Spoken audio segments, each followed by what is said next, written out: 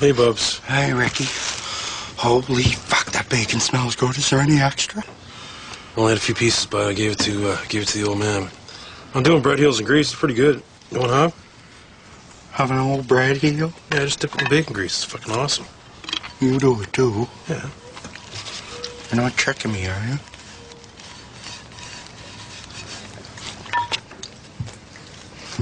It's kind of fucking dry, Ricky. Have you anything to drink? A little bit left in that.